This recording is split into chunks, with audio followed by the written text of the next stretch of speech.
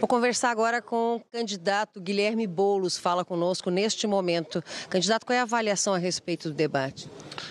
Primeiro, Luiz, o debate vai ficar marcado pela cena lamentável que a gente viu de violência, de agressão. É preciso dizer que o Datena foi provocado o debate inteiro pelo Pablo Marçal que veio para tumultuar. Não que isso justifique nenhum tipo de violência e de agressão. Acabou perdendo o controle. Agora, o Marçal não era esse debate. No outro debate me provocou, atacava, ofendia, mentia, atacava a honra. Fez isso com o Datena o debate inteiro. Eu vi. Estava é, do lado e pude presenciar. Agora, é, o Datena acabou se descontrolando e teve isso. Eu vim, como vou para os debates, para poder discutir proposta, eu me preparei, eu juntei um time. Eu tenho um objetivo, uma missão nessa eleição, que é mudar a nossa cidade, fazer de São Paulo uma cidade mais humana, mais igual, mais inovadora.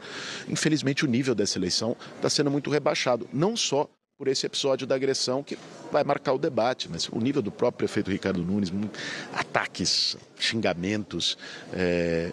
Quem quer ser prefeito de São Paulo precisa ter equilíbrio emocional, precisa ter condição moral e precisa ter proposta. É assim que eu estou me apresentando nessa eleição. Infelizmente, os debates não têm podido dar oportunidade para que a gente dialogue com o eleitor face a face sobre a São Paulo que a gente quer.